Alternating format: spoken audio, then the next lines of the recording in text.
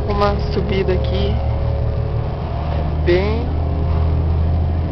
Muita curva, ó. Muita curva. Os carros têm muita dificuldade pra subir aqui. Ele ainda tem um pouquinho de neve nas montanhas, porque ainda é verão, estão derretendo. Então, Tome curva. Curva e curva pesada.